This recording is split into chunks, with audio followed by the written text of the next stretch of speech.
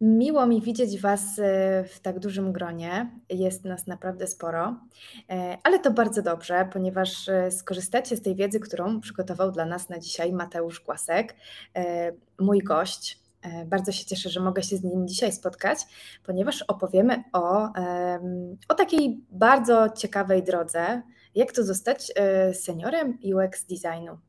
E, poruszymy też temat, który interesuje wszystkich, czyli wysokich e, zarobków. E, temat wysokich zarobków w IT jest często powtarzany. No i powiem sobie, jak to jest naprawdę, czy one są rzeczywiście takie wysokie, czy może, czy każdy może zarabiać tak dużo, nawet jeśli nic nie robi, czy, to, czy, czy takie wynagrodzenia czekają na wyciągnięcie ręki. Ale zanim przekażemy Mateuszowi głos, to chciałabym, drodzy uczestnicy, e, dowiedzieć się czegoś o Was. E, dajemy sobie bufor takich e, dwóch minut na to, żeby dołączyli wszyscy, którzy planowali. Proszę napiszcie, czy Wy już coś wiecie o UX designie, czy jesteście na samym początku swojej ścieżki, a może mamy tutaj jakichś seniorów, którzy będą się chcieli z nami podzielić swoimi doświadczeniami. Cześć wszystkim, bądź też regularom i wszelkiej maści juniorom, każdemu, kto jest zainteresowany przejściem tych, tej ścieżki. Mam nadzieję, że też mnie dobrze słychać. Dobrze Cię słychać, e, Mateusz. Bardzo dobrze, że podpowiadasz, że są z nami też pewnie też regularzy. Um, o, mamy jakiegoś seniora, ale UI designu który idzie w kierunku produktowca. Super, Michał. E, Mateusz, zwracaj na niego uwagę. Ja myślę, że fajnie się Wam będzie rozmawiać. Początek od poniedziałku zaczęłam kurs od zera. Patrycja, trzymamy mocno kciuki. Justyna jest po kursie. Buduje portfolio. Początki. Ktoś się zapisał na bootcamp. Ktoś jest kompletnie zielony.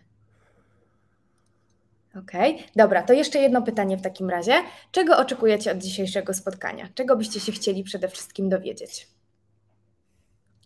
Jestem w zasadzie na początku, liznęłam tylko trochę wiedzy na kursie grafiki komputerowej, który skończyłam, byłam na stażu i w zasadzie tyle. A ktoś jest przypadkowo. Michał, zostań z nami. Może to nie przypadek, a przeznaczenie.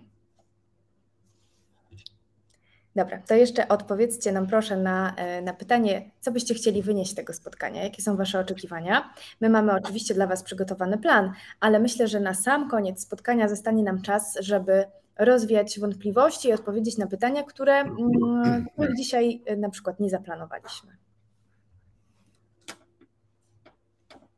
Jak wygląda dobry projekt? Myślę, że to jest temat rzeka.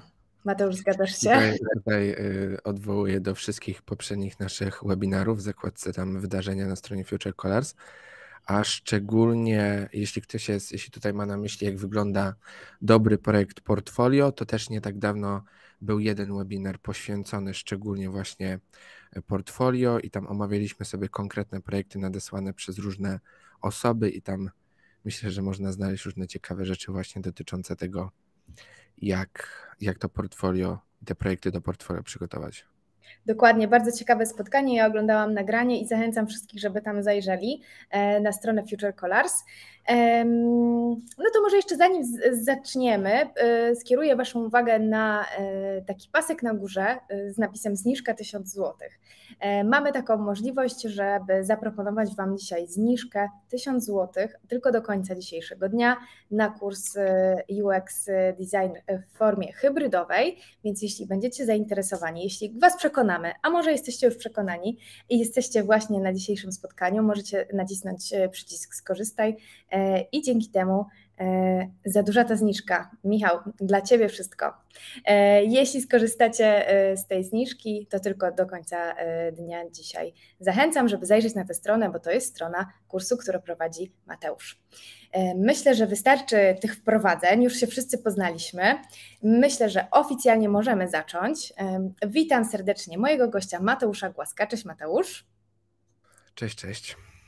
E, ja nazywam się Paulina Brudka, pracuję w Future Colors i dzisiaj mam przyjemność zadawać Mateuszowi kilka pytań.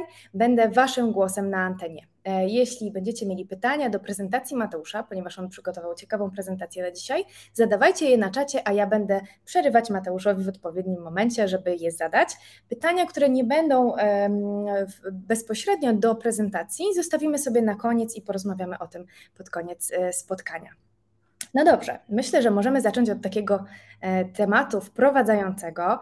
Mateusz, jakbyś nam powiedzieć, e, mógł powiedzieć, kim jest UX, UX designer e, i kto może pracować w tym zawodzie? No właśnie, bo tutaj nawet gdzieś padło, kto, ktoś napisał, że jest senior UI, tutaj gdzieś ktoś odpowiedział, że idzie w kierunku produktowca. Generalnie rzecz ujmując, projektant użyteczności to jest osoba, która zajmuje się projektowaniem produktów cyfrowych, wszelkiej maści, nie wiem, aplikacji, stron i tak dalej. Tutaj jakby pod względem tego zakresu, czy może zajmować się projektem, jest tego naprawdę sporo. I to jest osoba, która wraz z zespołem, no rzadko kiedy pracuje w pojedynkę, projektuje tą użyteczność, czyli zastanawia się, jakie są cele użytkownika, jakie są jego potrzeby, jakie są jego, można powiedzieć, bolączki i jak za pomocą przeróżnych produktów, ścieżek, projektując ścieżki w tym projekcie, określając w jaki sposób funkcje mają spełniać właśnie te potrzeby i cele użytkownika, ma on osiągać te, te cele. Tutaj natomiast gdzieś właśnie padło o tym UI, UX. UI i UX, ja często uważam, że tutaj e, też jakby w branży jest takie podejście, że UI jest po prostu częścią UX-a i tutaj można powiedzieć, że to iście w kierunku produktowca oznacza nie mniej niż więcej niż to, że właśnie chcemy potrafić kompleksowo projektować produkty, nie tylko od strony no właśnie samej użyteczności, gdzie to często kończy się na etapie projektowania takich niskopoziomowych makiet, można mówiąc najprościej takich czarno-białych rysunków, a tutaj ten UI no to jest to projektowanie już tych aspektów wizualnych, tej warstwy wizualnej produktu. Tak w bardzo, bardzo dużym skrócie zachęcam też do oglądania wszystkich pozostałych webinarów, gdzie tłumaczymy na temat UX-a znacznie, znacznie więcej, bo tutaj jakby temat jest również bardzo szeroki, cały proces projektowania użyteczności jest złożony. Tutaj mamy zarówno i fazę badań, i fazę e, ideacji, modelowania, syntezy wyników tych badań, prototypowania i bardzo, bardzo ważną fazę testowania. Tych rzeczy tutaj jest naprawdę sporo. Natomiast jeśli chodzi o to, kto może wykonywać ten zawód, tutaj też jakby dalej pozostając w, jakby w zakresie tłumaczenia tego, czym ten UX jest. UX to jest dziedzina taka interdyscyplinarna, składająca się, można powiedzieć, z wielu obszarów. I tutaj sam UX korzysta zarówno z psychologii, sporo jest w nim też narzędzi i metod zapożyczonych z marketingu i ogólnie z wszelkich innych, można powiedzieć, rodzajów projektowania. Osoby, które mamy na kursach, bo ja tutaj też z Future Colors mam tą przyjemność współpracować już od ponad dwóch lat i, i miałem okazję osobiście pracować z przeszło kilkudziesięcioma kursantami, Osoby, które do nas trafiają, to są osoby właśnie gdzieś tam w obszarach psychologii, szczególnie psychologii kognitywnej, psychologii poznawczej. Osoby też, które pracowały bądź pracują w marketingu, PR, i tutaj, bo tutaj choćby jest takie rzeczy jak value proposition, Canva, mm, persony i tak dalej, to są rzeczy, które są znane ludziom zajmującym się marketingiem ale też wszelkiej maści projektanci, architekci czy projektanci od wzornictwa przemysłowego, projektanci wnętrz i tak dalej, ponieważ pewne dobre zasady projektowania są uniwersalne.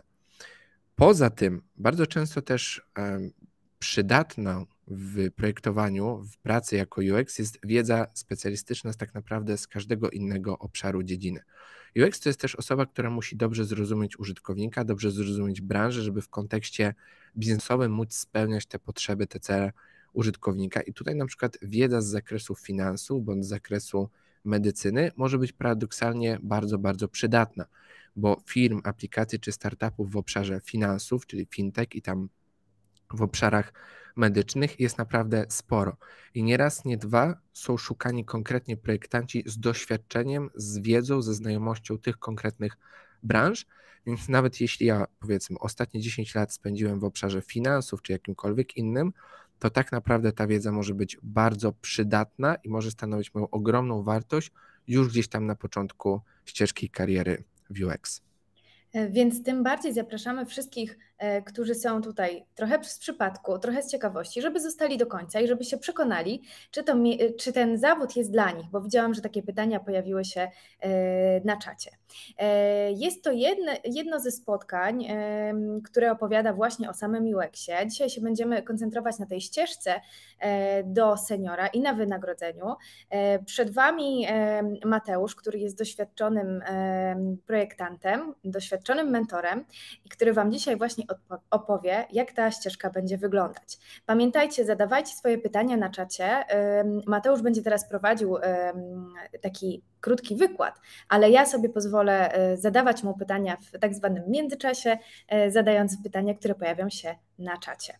E, Mateusz, myślę, że możemy przejść do Twojej prezentacji. Okej, okay. tutaj jeszcze sobie zrobię udostępnianie ekranu.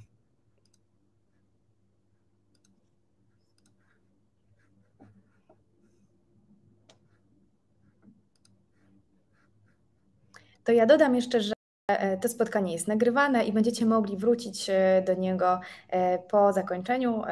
Zachęcam do tego, żeby zajrzeć jeszcze na inne nagrania, zainspirować się i pewnić, że praca UX designera jest dla nas. No dobra.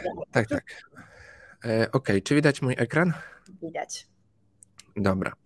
Tak, tutaj wiem, że są też osoby, które e, powiedzmy tego UX-a zbyt dobrze nie znają i jest to dla nich coś nowego. Ja będę starał się w taki dość luźny sposób opowiadać o takiej ścieżce od juniora do seniora, przeplatając różne takie elementy, starając się też możliwie najwięcej mówić, opowiadać na temat samego UX, tutaj szczególnie dla tych osób, które powiedzmy gdzieś tam nie są z tym tematem zaznajomione. Będę też troszeczkę szczególnie pod koniec więcej mówił tutaj o pewnych rzeczach związanych z wynagrodzeniem i tak dalej. Ja generalnie będę tutaj odwoływał się wielokrotnie gdzieś tam do swoich przykładów, swojej historii życia, kariery i tak dalej, aczkolwiek nie będzie to e, żadna spowieść, nie będzie tutaj żadne opowiadanie e, smutnych historii z mojego życia. Raczej staram się tutaj zrobić takie uniwersalne podejście, które możliwie najwięcej da Wam, z którego możliwie najwięcej będziecie w stanie sami wyciągnąć. I też nie ukrywam, że tutaj wielokrotnie jakby brałem pod uwagę różne historie naszych kursantów i też młodszych projektantów, których sam spotykam w swojej pracy. Ja jestem w tym momencie senior UX designerem w NetGuru. NetGuru to jest jedna z takich największych agencji digitalowych w Polsce. Ja jestem z pracy tam bardzo, bardzo zadowolony. Jest to organizacja pod względem UX dojrzała, nawet bardzo dojrzała. Mamy zespół projektantów przeszło 90-osobowy. Mamy właśnie, oczywiście właśnie juniorów, mamy regularów, mamy seniorów. Ja dużo też z tymi juniorami pracuję. Widzę jakby co oni robią, jak robią. Mam własne obserwacje na temat tego właśnie jak oni prowadzą swoją ścieżkę kariery, jak zachowują się gdzieś tam na początku. Mam też jakby u nas w NetGuru jest też sporo takich inicjatyw skierowanych do juniorów, jak choćby Junior Academy. My z tymi juniorami na bieżąco pracujemy, więc można powiedzieć, że ja tutaj mam sporo tych obserwacji i sam postarałem się tutaj też przekładać na opowieść związaną z tą moją ścieżką. Od razu taki drobny, drobny tutaj disclaimer, zastrzeżenie. Jeśli będę brzmiał momentami jakkolwiek, jakkolwiek coachingowo i na zasadzie udzielania złotych rad pod tytułem jak żyć, to proszę traktować to z ogromnym przymrużeniem oka. Tutaj, no mówię, będzie pewnie kilka takich stwierdzeń, takich sformułowań, jak żyć, co tu robić, żeby osiągnąć sukces, ale ja absolutnie odcinam się od coachingu, udzielania złotych rad, aczkolwiek nie zmienia to faktu, że gdzieś tam na tej ścieżce od juniora do seniora warto słuchać doświadczenia innych osób, warto podpatrywać to doświadczenie innych osób, bo to rzeczywiście można sobie tutaj z tego wiele wyciągnąć. Idźmy dalej. Można powiedzieć, że na tej ścieżce od takiego poziomu juniorskiego, którą sam przechodziłem do tego poziomu seniorskiego, mi ta ścieżka zajęła tak około 5-6 lat i to zazwyczaj tyle tutaj zajmuje, więc tu od razu odpowiadam na to, ile się, ile, ile to zajmuje. Od razu też dopowiem, że na tym stanowisku juniorskim bywa się często dość krótko. Niekiedy już po roku ludzie przechodzą na to stanowisko regularne. Wynika to z tego, że zapotrzebowanie rynku jest naprawdę spore. Więc tutaj nawet jeśli gdzieś widzimy te widełki płacowe na stanowisko juniorskie i być może one nie są dla nas super zadowalające, bo nie wiem, wynoszą tam no, w okolicach powiedzmy, to jeszcze zależy od regionu, ale powiedzmy 4-5 tysięcy na rękę i być może dla kogoś to jest rzeczywiście niska płaca, to tutaj należy jakby mieć na myśli to i, i być w dobrej myśli, że bardzo szybko przeskakuje się do tego poziomu regularnego. Najdłużej się później, przepraszam za wyrażenie, siedzi na tym poziomie regularnym, bo do, żeby zostać tym seniorem, to już troszeczkę trzeba e, wykazywać się pewnymi cechami i o tych cechach zresztą będę mówił, ponieważ też ważna jedna, ważna jedna rzecz. Nie zamierzam tutaj jakby w trakcie tego wystąpienia tak opowiadać na zasadzie junior to powinien umieć to, to, to, to i to, regular to, to, to, to i to, a senior to, to, to i to. Bo nie do końca tak to działa, szczególnie jeśli chodzi o projektowanie. Projektowanie jest procesem złożonym i kompletnym i tak naprawdę bardzo często mm, junior wykonuje bardzo podobne czynności, czy niemalże nawet te same rzeczy, jak senior. To znaczy i junior, i senior na przykład w swoim projekcie powinni zajmować się e, testowaniem, powinni swój projekt przetestować. Natomiast różnica będzie w tym, jak będą to robili, i różnica będzie w tym, jakie z tego wyciągną wnioski i jaką wniesie to wartość do, e, do projektu. Projektowanie nie jest zero-jedynkowe, to nie jest tak jak pisanie kodu, że jakby E, coś działa bądź nie działa. Oczywiście też ci, którzy siedzą w branży, to doskonale wiemy, że kod może być napisany lepiej bądź gorzej, ale zasadniczo finalnie na koniec logika matematyczna rządzi. Coś działa bądź nie działa. Wyświetla się użytkownikowi bądź nie. Z projektowaniem tak niestety nie jest i nawet na pierwszy rzut oka, jeśli prowadzimy testy, to te testy mogą być przeprowadzone jakoś tam, a mogą być przeprowadzone super, świetnie, dobrze, wnosząc ogromną wartość. Paradoksalnie gdzieś tam też na boku mówiąc, Przede wszystkim juniora od seniora odróżnia samodzielność. Senior, ja też będę o tym mówił, o tutaj zresztą jest to widoczne, strategiczne podejście do UX, umiejętność strategicznego podchodzenia do tworzenia produktów. Senior będzie wiedział, które metody dobrać, w którym momencie będzie potrafił zaplanować pewne działania, podczas gdy właśnie juniorzy i regularze najczęściej po prostu wykonują, nie chcę powiedzieć tak nieładnie, ale zalecenia, polecenia doświadczonych projektantów, którzy najczęściej prowadzą te projekty. Natomiast w Figmie, można powiedzieć to nawet, nie wiem, no, z mojego projektu, który aktualnie prowadzę w pracy, ja i młodszy projektant, który ze mną pracuje akurat na, na stanowisku regularnym, wykonujemy bardzo podobną pracę. Ale gdzieś tam przed klientem wyznaczanie kolejnych kroków, to właśnie jakby tutaj leży na mnie i też dodatkowo jak gdzieś w swojej firmie jestem odpowiedzialny właśnie za to, żeby wspierać rozwój tych juniorów. To tak jakby w skrócie o tym, czym się ogólnie różnią te zakresy, te, te obowiązki juniorskie od seniorskich. Natomiast jeśli chodzi o, o pierwszy, można powiedzieć, z tych punktów, które tutaj sobie wyszczególniłem, rozwój, rozwój, rozwój. Podobno Napoleon Bonaparte gdzieś tam kiedyś powiedział, że do prowadzenia wojny potrzebne są trzy rzeczy: pieniądze, pieniądze i pieniądze. Natomiast jeśli ktoś by mnie zapytał, co jest potrzebne do tego, żeby w miarę najszybciej, a znam nawet osoby, które w 3-4 lata przychodzą z, od stanowiska juniorskiego do stanowiska seniorskiego, czyli od pułapu zarobków, tamte 3, 4, 5 tysięcy na rękę, do pułapku za, zarobków na młodszego e, seniora, bo też jeszcze czasami się śmiejemy, że mamy e, młodszych seniorów, seniorów, seniorów, starszych seniorów, czyli zakresu tam od 12, tam powiedzmy od 10 w górę tysięcy na rękę. Oczywiście tacy senior, senior czy na moich stanowiskach to tam jest w okolicach powyżej 20 tysięcy na rękę, to powiedzmy nawet w te kilka, 3-4 lata jesteśmy w stanie dojść do tych 10, 12, 15 tysięcy na rękę, co nie da się ukryć, że jak na polskie warunki pracy i na różne inne branże, to naprawdę są zarobki konkurencyjne. Choć mam oczywiście świadomość, że są branże lepiej zarabiające i ludzie, którzy e, powiedzmy tam sobie lepiej radzą, niemniej jakby też biorąc pod uwagę obłożenie pracą, zakres obowiązków i też niesamowitą frajdę, która sprawia ta, ta praca i satysfakcję, uważam, że jest to doskonały i świetny deal. Tutaj jeśli chodzi o ten rozwój, powiem to może też zacznę w ten sposób, tak? Tutaj dużo, dużo na temat tego rozwoju można powiedzieć. Ja mam pewną taką e, zasadę, którą się kieruję, że dołączając do nowej firmy, wiem, kiedy chcę ją opuścić. Mam nadzieję, że nikt z NetGóry nie ogląda teraz tego webinaru i nie dostanę tam jutro, e, nie powiem po czym. Oczywiście tutaj chodzi o jedną rzecz. Ja kiedy dość, relatywnie dość często zmieniałem pracę, to znaczy mniej więcej dwa lata spędzałem w jednej firmie. Jeśli spojrzycie też na branżę, na branżę w ogóle IT, zobaczycie, że to jest pewna charakterystyka tej branży, że ta rotacja osób jest dość spora. Ma to swoje plusy, minusy, wynika to ogólnie rzecz ujmując z wielu czynników, nie będę teraz tu bardzo w to wchodził. Natomiast gdybyście też zajrzeli do przeróżnych badań, na przykład Bulldog Job, który jest ogólnie największym badaniem IT w Polsce i jeszcze kilku innych badań, to zobaczylibyście, że bardzo często tym punktem wyjścia, i tutaj mam na myśli mówiąc to, że wiem, kiedy chcę daną firmę opuścić, jest to, kiedy kończą nam się możliwości rozwoju, kiedy widzimy ściany i kiedy nie jesteśmy w stanie robić nowych rzeczy, które są dla nas pewnym wyzwaniem. I jeśli nie ma się tego typu podejścia, szczególnie na początku swojej kariery, a tak naprawdę ono obowiązuje zawsze, ono obowiązuje też mnie, ponieważ branża jest niezwykle konkurencyjna. Tutaj rok, dwa nic nie robienia, siedzenia w ciepełku i, i nie rozwijania się powoduje, że tak naprawdę jesteśmy w stanie bardzo łatwo tutaj z tego wypaść. Gdzieś tam mówiłem o tym na poprzednim webinarze, do którego też zachęcam. Pięć rzeczy, które by, zrobiłbym inaczej, gdybym zaczynał karierę w UX. Tam między innymi mówiłem o złotych klatkach i o tym, że można w coś takiego popaść i jakby w konsekwencji gdzieś tam się zatrzymać i z czasem okaże się to niekonkurencyjne. Ale to mówię, jest okażemy się niekonkurencyjni, ale tu jakby odwołuję do mojego poprzedniego webinaru, gdzie trochę więcej na ten temat mówiłem.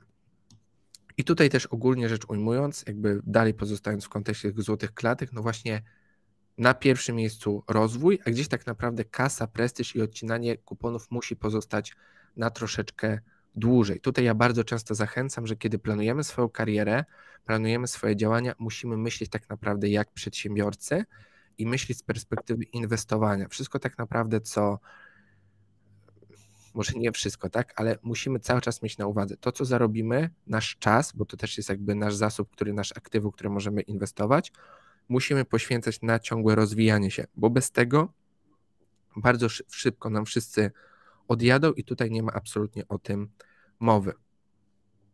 I tutaj też jakby taki ważny, ważny tip, ważna taka rzecz. Jeśli wejdziecie w tą branżę i zaczniecie zajmować się jakby UX-em, zobaczycie, że ten UX, tak jak powiedziałem, jest szeroki. Tutaj tych ścieżek rozwoju i tak dalej jest naprawdę sporo.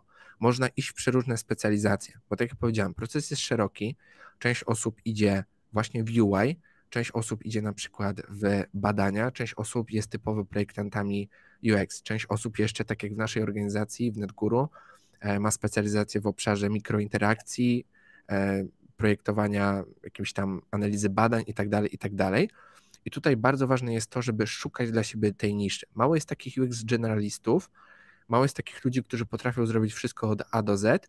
Tutaj ja generalnie polecam, żeby patrzeć, w czym jesteśmy dobrzy, nie bać się definiować tego, w czym jesteśmy dobrzy, nie bać się definiować tego, w czym nam nie idzie, stopniowo starać się oczywiście te obszary uzupełniać, ale utrzymywać w tym taki pewien balans, nie starać się być dobrym we wszystkim, raczej poszukać sobie specjalizacji i bardzo uważnie dobierać kolejne etapy tego rozwoju, to znaczy w czym się chcę rozbijać, czy to będzie na przykład UX Writing, czy to będzie tworzenie, budowanie flow, czyli mapowanie tych ścieżek użytkownika, czy to będzie projektowanie samych makiet, czy to na przykład chcę zostać specjalistą od testów użyteczności, czyli sprawdzania, w jaki sposób moi użytkownicy pracują, reagują na zaproponowany design. Więc tutaj poznajemy siebie, uważnie dobieramy te kroki i staramy się utrzymać w tym wszystkim balans, bo tutaj też ja na przykład swego czasu byłem na szkoleniach bardzo drogich, szkoleniach, które tam kosztowały przeszło 20 parę tysięcy i szczerze mówiąc, gdybym robił je drugi raz, pewnie nie. Szukałbym bardziej zoptymalizowanych ścieżek.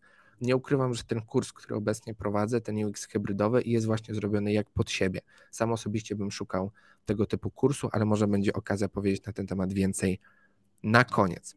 Mateusz, to jeszcze zanim przejdziesz do punktu drugiego, ja mam pytanie. E, czy, ten, e, czy to wybieranie ścieżki dla siebie może się już odbywać na poziomie juniora, czy raczej to jest, e, to jest działanie, które możemy podjąć dopiero jako regular? Ja, gen, ja generalnie już bym przymierzał się do tego na poziomie juniora, ponieważ tak jak powiedziałem, obszar wiedzy, obszar jakby UX jest czymś naprawdę bardzo dużym i tak jak powiedziałem, rzadko kiedy komuś się udaje być takim unicornem, czyli we wszystkim, już na etapie juniora. Na etapie juniora musimy jakby poznać wszystko. Musimy zaznajomić się z całym procesem, ale już nawet wtedy możemy myśleć o mhm. no właśnie tej specjalizacji. Mhm. Dzięki. Idźmy sobie dalej. Coś, co ma moim zdaniem ultra wielki wpływ na rozwój od właśnie juniora do seniora i czymś, co w ogóle ma wpływ na nas jako na, na projektantów, ale też na ludzi, jest pomaganie innym. I tutaj od razu mówię, w jakim, w jakim wymiarze, w jakim obszarze, o co mi tutaj chodzi. Ja generalnie zawsze starałem się wspierać kulturę wspierania, która panuje w IT. To jest generalnie bardzo fajna, dobra i taka owocna kultura, w której ludzie w IT są nastawieni na pomaganie sobie nawzajem. I tutaj mm, jest to podszyte nie właśnie chęcią uzysk- uzyskiwania jakichś specjalnych korzyści, benefitów dla siebie, choć to też jakby przynosi nam, nam tutaj te korzyści, o których za chwilę powiem, tylko rzeczywiście taką otwartością i chęcią pomagania innym. Generalnie ja widzę, i to jest jakby też podszyte skutecznymi metodami uczenia, edukacji, kodowania informacji, że nie ma tak naprawdę jedną z najlepszych metod na uczenie samego siebie, jest uczenie innych. I to jest zresztą właśnie wymieniane jako jedna z metod technik skutecznej, efektywnej edukacji. Nawet Radek Kotarski mówi o tym w swojej książce Włam się, Włam się do mózgu. I tutaj warto angażować się w tego typu działania i co więcej, warto angażować się w nie, nawet jeśli się nie jest, nazwijmy to, ekspertem, bo czymś, co bardzo często nas blokuje, jest to, że okej, okay, dobra, ja jeszcze, jeszcze muszę się nauczyć tego, jeszcze muszę nauczyć się tego, nie umiem tego, nie umiem tamtego, podczas gdy tak naprawdę wystarczy, że wiem trochę więcej od osoby, którą mam uczyć, żeby być w stanie jej przekazać jakąś tam wiedzę, czego się tam nauczyć i tak dalej. I ja nie mówię od razu o tym, żeby zostawać mentorem czy, czy właśnie wykładowcą w takiej szkole programowania, jak nie wiem, czy, czy w ogóle kompetencji cyfrowych, jak w College, czy jakakolwiek inna szkoła, bo tutaj rzeczywiście my od naszych mentorów wymagamy, żeby oni no, troszeczkę więcej tutaj wiedzieli, coś prezentowali i tak dalej. Nie zmienia to faktu, że napisanie artykułu na blog, E, zaangażowanie się w jakikolwiek program mentorski, gdzie można wystąpić w roli eksperta, przeprowadzenie jednej czy drugiej prezentacji wewnątrz w firmie może, jest jakby uczeniem innym i jest czymś, co bardzo dużo może nam dać, ponieważ no, opracowując te materiały, przygotowując się do tego wystąpienia, przerabiamy te treści, często odkrywamy jakieś nowe rzeczy, czegoś musimy się niekiedy na szybko douczyć i to nas bardzo mocno rozwija. To powoduje, że jesteśmy zmotywowani, poniekąd przymuszeni do tego, żeby właśnie się rozwijać, uczyć, zdobywać nową wiedzę, a jednocześnie też jesteśmy w stanie od razu weryfikować, testować. To testowanie jest w projektowaniu czymś ultra ważnym. Właśnie nasz poziom wiedzy, nasz poziom umiejętności, zderzać to z, można powiedzieć, no z ludźmi, a też będę mówił o tym, że taka też proaktywność, choćby w podejmowaniu nowych inicjatyw w firmie, czy, pro, czy właśnie zbieranie feedbacku od ludzi jest czymś bardzo, bardzo też ważnym w tej branży i ma ogromny wpływ na rozwój i przechodzeniu tej ścieżki od juniora do seniora. Ja nawet ostatnio gdzieś tam w filmie rozmawialiśmy o tym też, czym się różni senior od juniora. I właśnie oprócz tego, co mówiłem na początku, bardzo duży aspekt został położony na to, że senior to jest ktoś, kto wspiera, kto się udziela, kto jest aktywny, kto dba o rozwój innych, innych ludzi.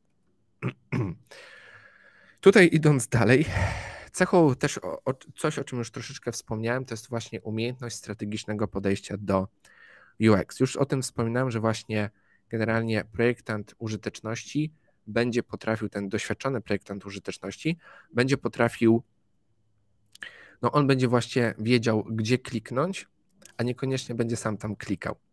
Junior czy regular to są osoby, które e, wykonują często bardzo zasadniczą pracę nad projektem, będą, e, można powiedzieć,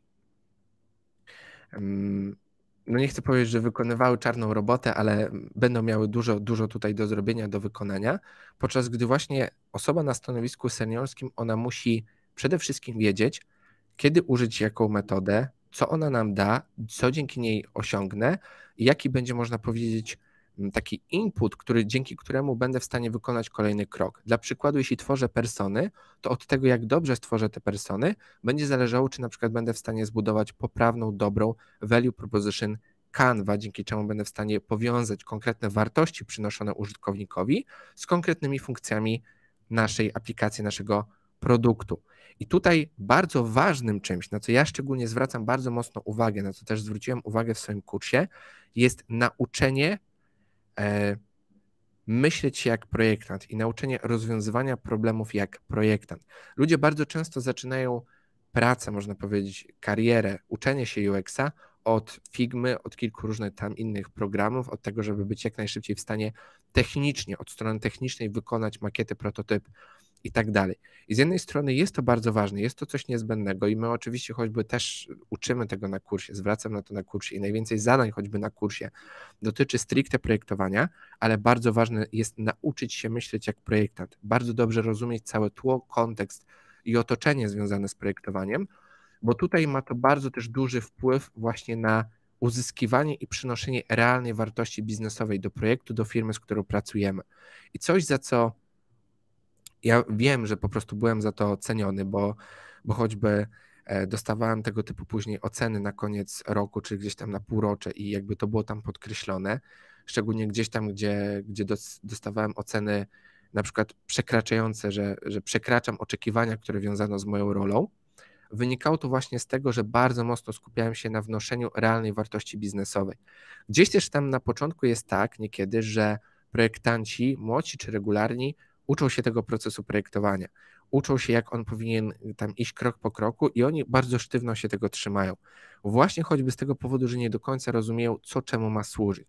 Starszy projektant będzie charakteryzował się pewną elastycznością. On, mówiąc trochę bezczelnie, będzie wiedział, kiedy może złamać pewne zasady, żeby osiągnąć pewne korzyści i przynieść realną wartość dla firmy. I tutaj umiejętność rozmawiania o tym z biznesem, umiejętność prowadzenia rozmów, przekonywania na przykład stakeholderów do tego, że tutaj powinniśmy zrobić takie czy inne badania. Ci stakeholders to są wszystkie osoby decyzyjne. To są jacyś tam menadżerowie, to są sponsorzy, to są po prostu klienci, którzy przychodzą do nas, żeby zamówić dany projekt. To umiejętność rozmawiania z nimi, nawet od samego początku, nawet gdzieś tam na poziomie juniorskim, nie trzeba się tego bać. Bardzo potrafi pokazać nasze seniority i też dzięki temu będziemy zauważeni. Ja osobiście to bardzo często stosowałem, wielokrotnie i to przynosiło ogromną wartość nie tylko mi, ale też nie tylko firmie, ale też mi jako projektantowi i to było bardzo zauważane. I też gdy później chwaliłem się tym w swoim portfolio, to też było jakby doceniane, bo tutaj, no mówię, odwoływałem do tego, że jest osobny webinar na temat portfolio. Na temat portfolio można mówić bardzo dużo, natomiast jedną z też z rzeczy, na którą ja osobiście bardzo zwracam na uwagę w portfoliach młodych projektantów, jest to, czy właśnie oni skupiali się na dowiezieniu tej wartości, czy na przykład były postawione na początku jakieś hipotezy badawcze, projektowe, które następnie w toku badań zostały potwierdzone bądź obalone. Czy kiedy został stworzony produkt, zostały postawione jakieś hipotezy, został postawiony jakiś cel biznesowy, który też jakby jest połączony, jest uwzględniony tam też cel użytkowników, czy to na przykład zostało zweryfikowane, obalone i co zostało później z tym zrobione. To jest ta iteracyjność badań, która też ma tutaj bardzo duże znaczenie. Oczywiście też nie zachęcam do niczego takiego, jak tutaj przedstawione na obrazku. Jest to jeden z najpopularniejszych memów dotyczących projektowania użyteczności.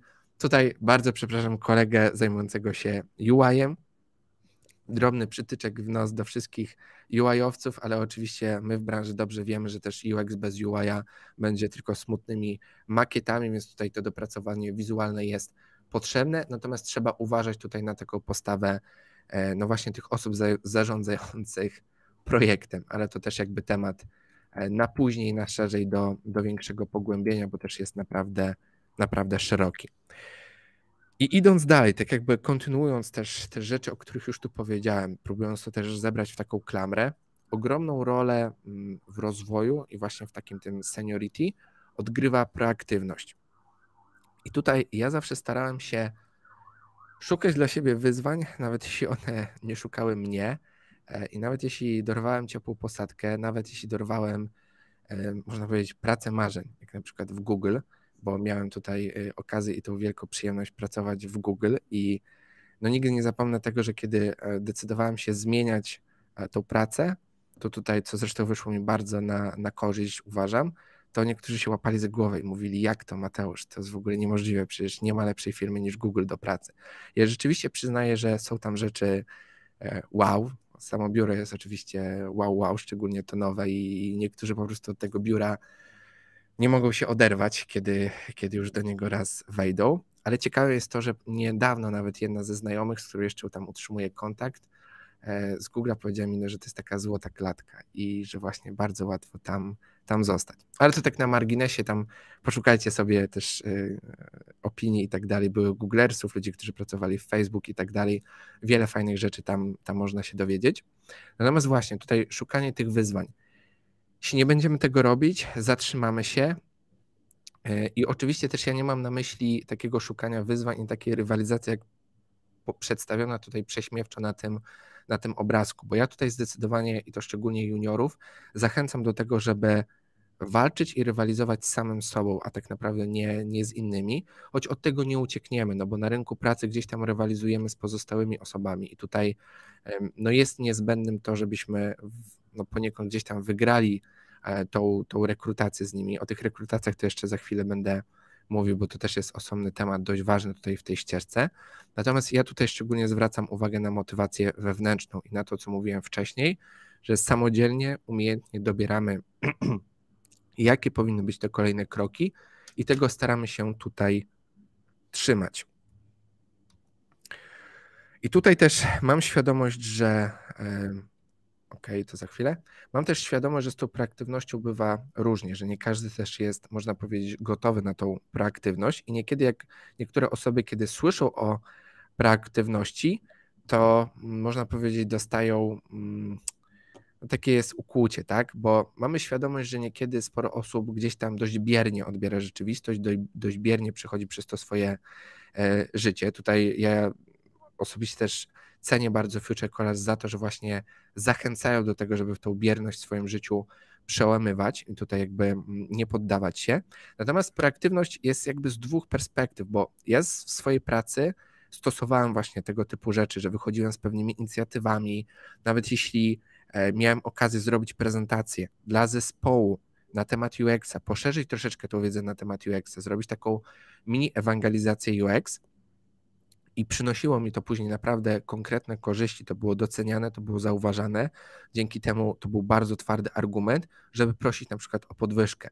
Bo jeśli firma była w jakiś tam sposób, a nadal jest masa takich firm, niedojrzała pod kątem tej e, pod kątem tego UX-a, to znaczy ma niedojrzałą kulturę UX w organizacji, czyli na przykład nie przykłada zbyt dużej uwagi do badań, to jeśli ja na przykład jakby tłumaczyłem cierpliwie, opowiadałem, jakie korzyści mają badania i tak dalej, ludzie to kupowali, ludzie za tym szli, no to to później tak przynosiło tą realną wartość biznesową. Ale czasami jest też tak, że my nie mamy w sobie takich umiejętności, talentów, nie mamy takich pokładów energii, żeby nie wiem, aktywnie prowadzić prezentacje, wystąpienia. I wtedy ja bardzo cenię sobie w projektantach to, jeśli, jak ja to mówię, chcę, żeby byli zapraszani zapraszani na przykład na dodatkowe sesje badań, dodatkowe sesje testów użyteczności. Załóżmy, że ja pracuję w projekcie, pracuję, nie wiem, z młodszym projektantem, albo załóżmy nawet, że ten projektant nie pracuje ze mną w projekcie, ale on wie, że w tym projekcie prowadzone są badania, prowadzone są testy.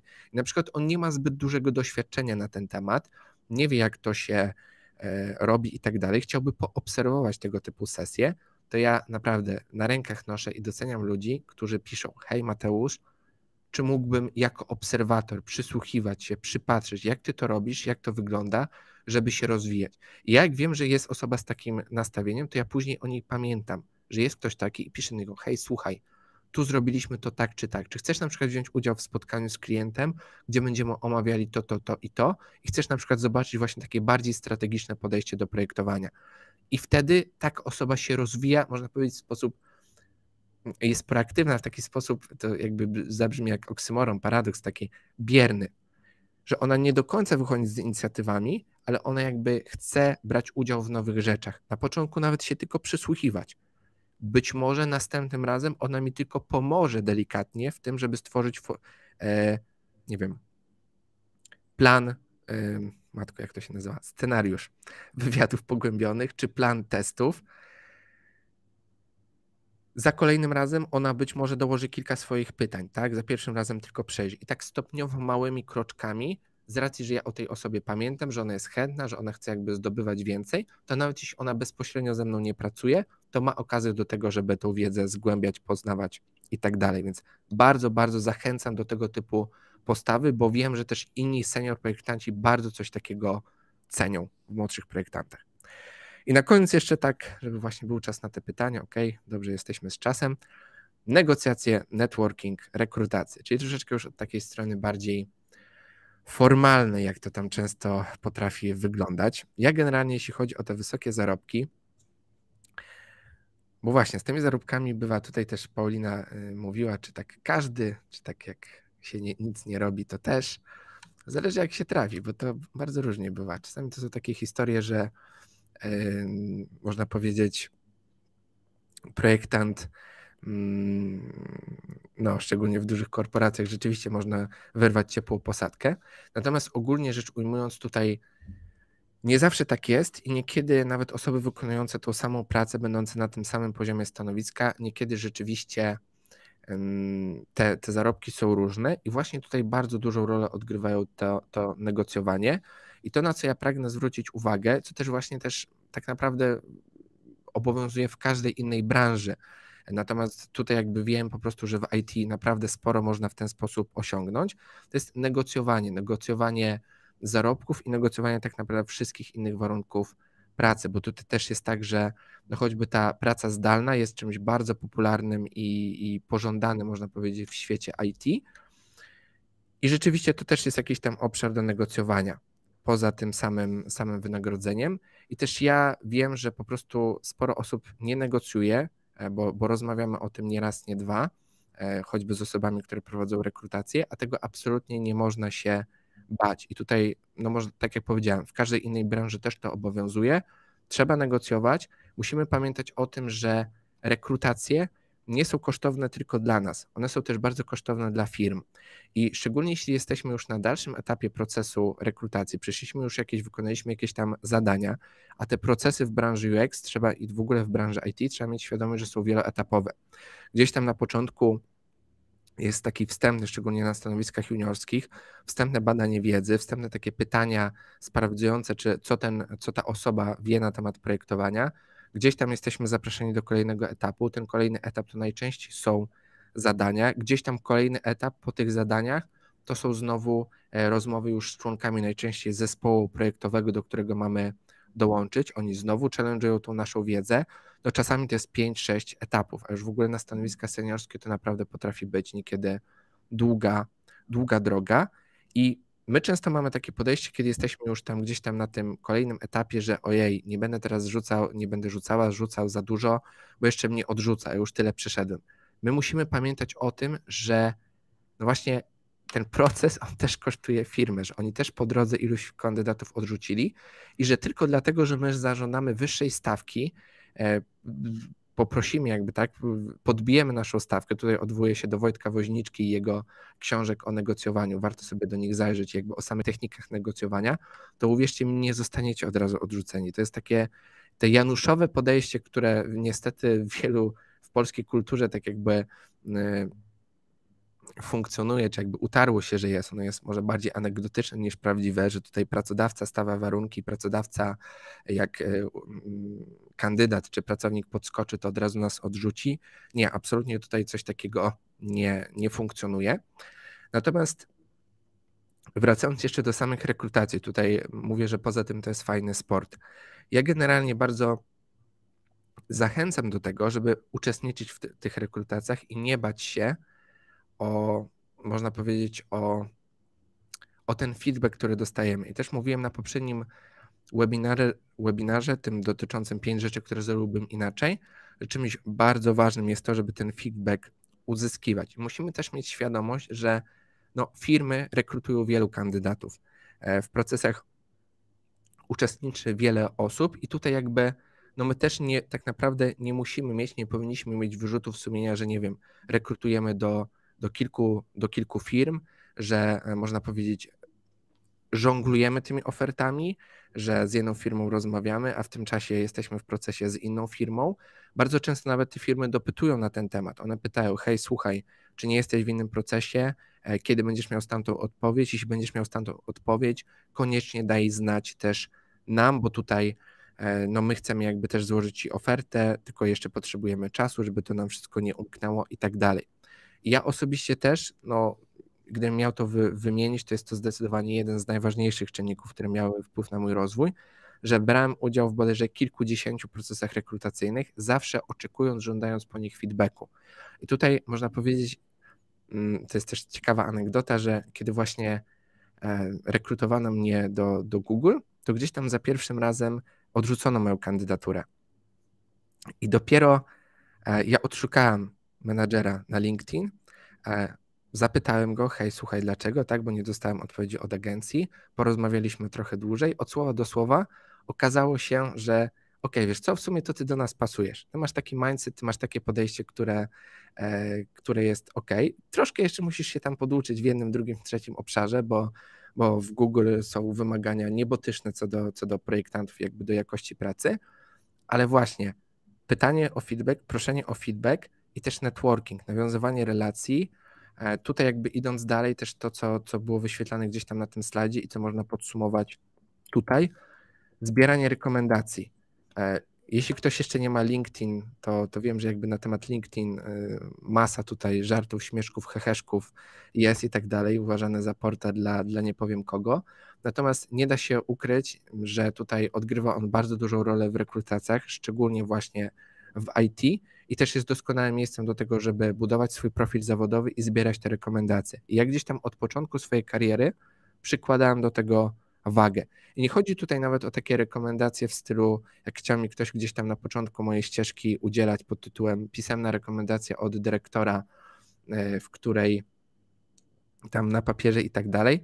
Bardziej chodzi o takie proste właśnie poklepanie gdzieś tam po plecach, czy to na LinkedIn, czy to wysłanie takiej rekomendacji na Behance, tam komentowanie naszych projektów, czy gdziekolwiek indziej mamy nasze portfolio, czy nawet przysłanie prostej rekomendacji um, za pomocą maila, którą, którą też mamy zgodę na umieszczenie na przykład w naszym portfolio.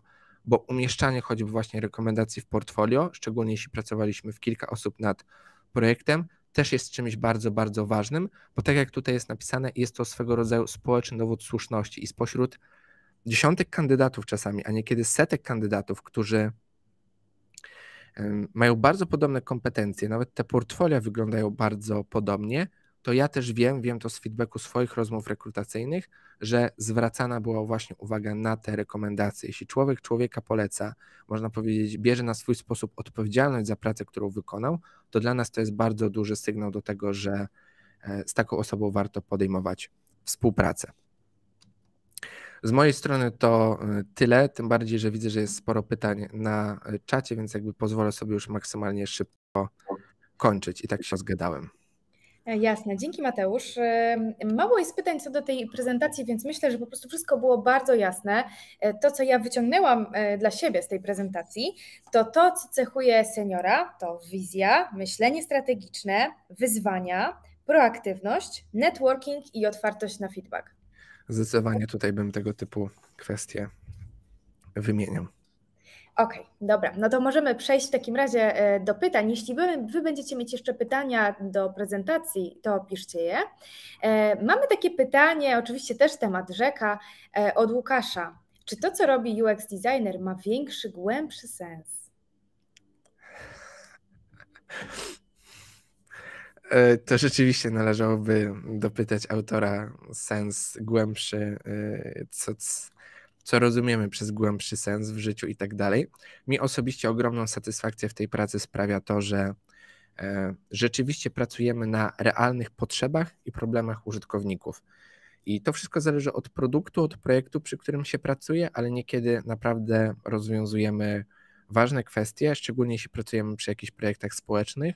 Choćby w NetGuru e, mamy możliwość pracowania nad tego typu aplikacjami i nie tak dawno została stworzona aplikacja, platforma do fundowania tam posiłków dla, dla seniorów i tak dalej, więc no mówię, dużo zależy od produktu i tak dalej, ale można powiedzieć, że jest to praca z misją pod tym kątem, że, że te problemy, cele użytkownikowi pomagamy realizować. Mhm. Dwa pytania o szkolenia. E, czy zaczynanie od tańszych bądź darmowych kursów, na przykład od Domestiki czy Google, jest dobrym pomysłem? E, to właśnie też temat rzeka. Też mówię o tym w poprzednich webinarach na temat w ogóle podejścia do uczenia się i, i jestem zwolennikiem e, metod skutecznej, efektywnej nauki, skutecznego kodowania informacji. Takie kursy moim zdaniem są dobre, żeby zdobyć takie ogólne rozeznanie. E, żeby tak można, można powiedzieć, zobaczyć, co w trawie piszczy. Natomiast one będą ciężkie do tego, żeby um, no, osiągnąć tą esencję, czy nauczyć się myśleć jak projektant. Generalnie jakby ja nie mam nic przeciwko samym nagraniom i przekazywaniu wiedzy za pomocą wideo, bo ten format jest super. Tutaj jakby chodzi o dodatkowe elementy i rzeczy, które powinny e, wystąpić jakby w ramach procesu skutecznej nauki. Mhm. To teraz pytanie od Marceliny. Czy ciężko jest się przebranżowić z totalnie innej dziedzinie, dziedziny, w ogóle niezwiązanej IT czy grafiką komputerową? Wszystko, wszystko zależy od determinacji, zapału i tak dalej, bo naprawdę mieliśmy, mamy przeróżne osoby w Future Colors i tutaj nie jest to zdeterminowane tak naprawdę ani wiekiem, ani tym, e, gdzie ktoś pracował wcześniej. Raczej jest tak, że tutaj jakby chodzi o osobiste predyspozycje, a tutaj tych no naprawdę w wielu innych obszarach są wykorzystywane, bo tak naprawdę jeśli ktoś jest analityczny, czy jego praca wymaga e, analityki, jest związana z analityką, z też takim myśleniem strategicznym, biznesowym, również odnajdzie się tutaj w projektowaniu użyteczności. Mhm. E, to teraz też przebranżowienie, ale z branży podobnej. Jak to jest e, z przebranżowieniem z branży podobnej? Jestem projektantem wzornictwa, znajduję podobieństwa w tych, w tych zawodach. Czy portfolio przy aplikowaniu na juniora w takim przypadku to jest must? Czy na przykład portfolio wzornicze może wystarczyć? Biorąc pod uwagę konkurencyjność, obawiam się, że tutaj niezbędne będzie takie typowo portfolio UX-owe. Portfolio to wzornicze i doświadczenie w tej branży podobnej będzie na pewno ogromną zaletą, będzie ogromnym atutem.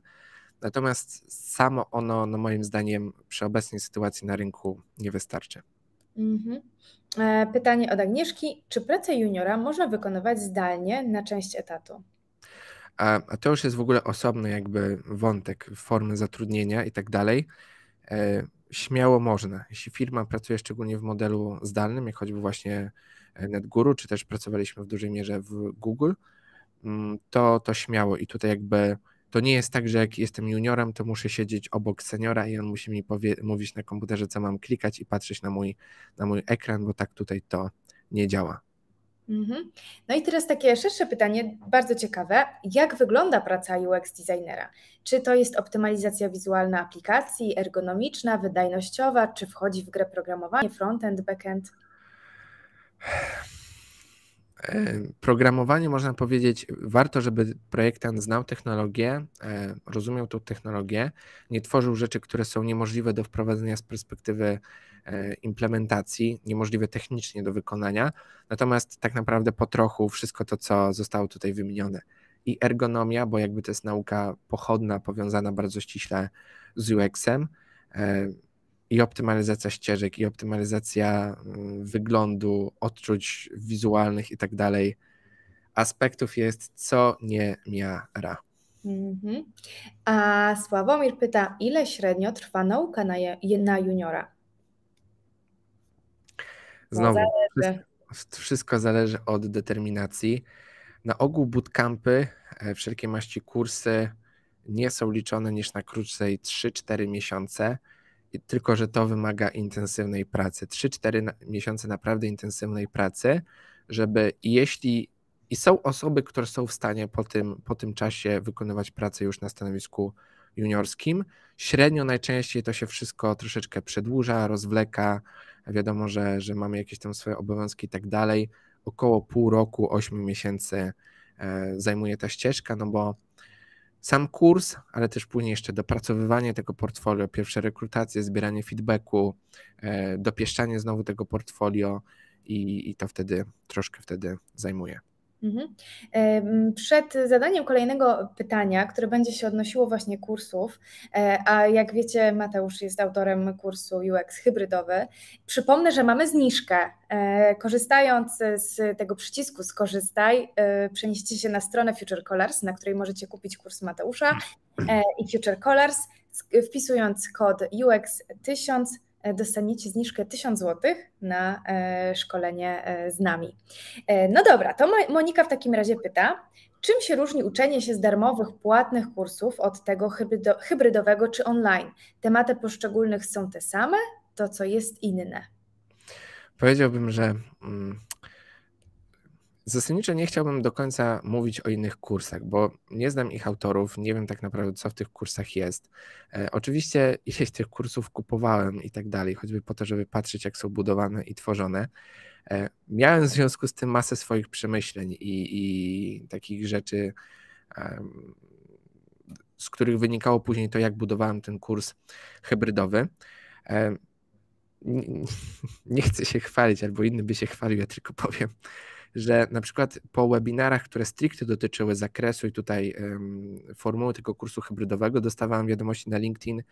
Hej Mateusz, dzięki Tobie wiem, jak dużo jeszcze nie wiem na temat UX-a, pomimo tego, że jestem w trakcie, e, na końcówce kursu UX z jednej z popularnych platform dotyczącej e, właśnie uczenia się i tak dalej. Natomiast jakby nie chcę tutaj jakby się porównywać bezpośrednio do, których, do którychś kursów. Na pewno jest tutaj tak, że ten kurs hybrydowy jest kompleksowy od, od A do Z. Na pewno patrząc też tak e, czysto formalnie, on jest znacznie dłuższy niż większość kursów online na popularnych platformach, ponieważ jest My nawet tam na stronie mamy to specjalnie zaniżone, ale tych nagrań wychodzi przyszło 25 godzin. E, samego czystego materiału do oglądania, ponieważ jest to właśnie tłumaczone szeroko, kompleksowo i też w taki sposób, żeby rozumieć rolę, e, rolę poszczególnych kroków. Do tego dochodzą zadania na platformie, e, do tego wychodzi, do tego dochodzą szablony, do tego dochodzą materiały, materiały często zaawansowane w formie prezent, narracyjnych prezentacji map myśli i tutaj z tego na takich typowych kursach po 150 zł na pewno, na pewno nie ma. E, mamy też własną społeczność i tutaj ja też już to widzę po pierwszej edycji, że to działa bardzo fajnie. Ludzie sami nawzajem siebie wspierają, nawiązują kontakty, pracują na przykład razem nad projektami portfolio. I tutaj też ja jestem na tej społeczności, to mam bezpośredni, bezpośrednio tam się udzielam, odpowiadam, a też przede wszystkim to, co jest tutaj wartością dodaną, że mamy sesję live. Jest sześć takich sesji live, gdzie dodatkowo ludzie pracując nad tymi rzeczami, nad swoimi zadaniami, projektami i tak dalej, rozmawiamy o tym, konsultujemy, dyskutujemy, widzimy się na, na żywo w formie właśnie takiej, e, czy to tam zależy od wielkości grupy, czy, czy webinarowej, czy z możliwością zawierania głosu, tak naprawdę jest to mniej istotne. I ja dodatkowo omawiam te fragmenty pracy, wyłapuję te błędy, e, na bieżąco sobie o tym rozmawiamy. Może choćby bardzo często na nagraniach ja pracuję na jakiś, nie wiem, scenariuszu, który wymaga usprawnienia. Ja od razu o tych rzeczach mówię, ale troszeczkę inaczej uczymy się na czyichś błędach, a troszeczkę na na swoich. Więc tutaj idea kursów hybrydowych, kohortowych to jest pewien miks, pewne połączenie najlepszych praktyk z takich kursów, można powiedzieć, standardowych, rozbudowanych, a ze szkoleń, wideo szkoleń online. Mhm. I ja to podkreślę jeszcze raz. E, to, co powiedział e, Mateusz e, na koniec. Szkolenie UX hybrydowe powstało na podstawie szerokiego researchu Mateusza, który jest fanem uczenia się, nauczania, jest jednym z naszych najlepszych mentorów, ocenianych najwyżej i widać, że nauczanie to jego pasja, więc ten kurs nie dość, że powstał na podstawie badania, to on jeszcze cały czas jest przez Mateusza obserwowany. Jeśli są jakieś wskazówki, może zostać ulepszone, więc e, oddajecie się naprawdę w dobre ręce. E, w trakcie kursu też e, będziecie się zajmować tym wspomnianym networkingiem i samo to, że możecie z przyszłymi UX designerami współpracować w trakcie kursu, czy nawet rozmawiać z Mateuszem i rozwijać się pod jego okiem, to już jest coś. E, przypominam jeszcze raz, że mamy tą zniżkę i ona jest tylko dzisiaj, czyli 6 kwietnia do końca dnia do wykorzystania u nas na stronie. E, jeśli ktoś z Was e, ma ochotę dowiedzieć się więcej, to możecie też skorzystać z opcji skontaktowania się z doradcą kariery na naszej stronie, który Wam może podpowiedzieć, czy to dla Was ścieżka, no ale przede wszystkim zachęcamy Was do tego, żebyście zajrzeli na nagrania z webinarów z Mateuszem, które odbyły się poprzednio. Mateusz, czy któreś ze spotkań polecałbyś najbardziej, czy wszystkie będą odpowiednie? Najłatwiej byłoby odpowiedzieć, że wszystkie, natomiast e, osobom szczególnie zainteresowanym portfolio, no to tutaj to e, dotyczące portfolio. Osobom, które na przykład właśnie są na początku kariery, to polecam ten dzisiejszy, ale też i ten poprzedni. E, pięć rzeczy, które zrobiłbym inaczej.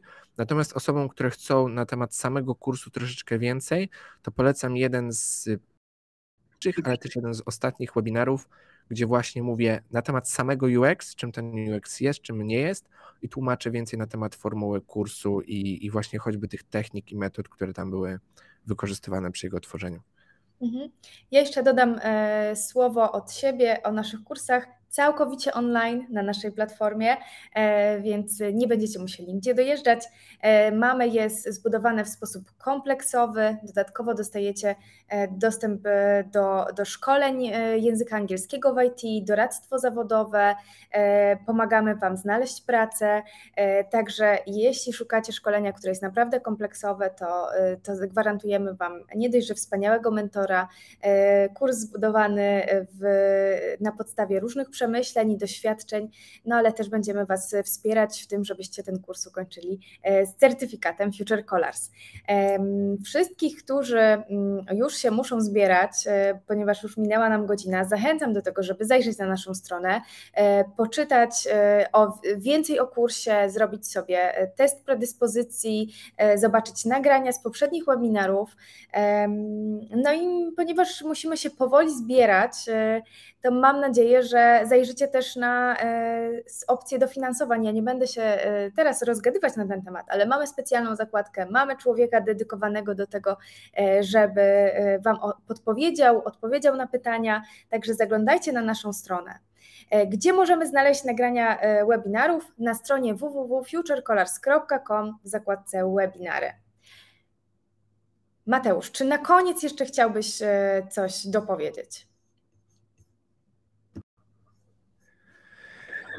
Że potrzeba wiary w siebie i że e, nawet jeśli dla kogoś wydaje się kompletną abstrakcją, żeby zostać projektantem, e, a już w ogóle senior, to ja tylko powiem, że też kiedyś sobie siedziałem przy biureczku, będąc jeszcze pracując jako tester, od tego zaczynając, słysząc po raz pierwszy o tym, że jest ktoś taki jak UX, UI, jeszcze wtedy postrzegany najczęściej designer i, i, po prostu stwierdziłem, że jakby chcę to osiągnąć i kilka lat i to jest jak najbardziej możliwe i dzisiaj występuję tu na webinarach i że tak powiem suszę e, język opowiadając jak to, jak to jest i jak, się, jak tutaj tym UX-em się zajmować. Więc naprawdę odrobina wiary w siebie, dobry kurs, dobre przygotowanie i, i jesteśmy w stanie naprawdę wejść w tą branżę, a jest to naprawdę bardzo ciekawy i bardzo taki dający ogromną satysfakcję zawód. E, dokładnie, ja życzę Wam odwagi i mam nadzieję, że zaczniecie z nami tą przygodę od juniora do seniora e, pod okiem i pod skrzydłami Mateusza z motywacją Future Colors. E, dziękuję Wam bardzo wszystkim za dzisiejsze spotkanie, przede wszystkim Mateuszowi za bardzo ciekawą prezentację. Dziękuję wszystkim, którzy zechcieli zadać swoje pytanie i być z nami. Zachęcam Was do wejścia na naszą stronę. No i miejmy nadzieję do zobaczenia w branży lub na kursie. Do zobaczenia. Dzięki wielkie, na razie. Cześć. Cześć.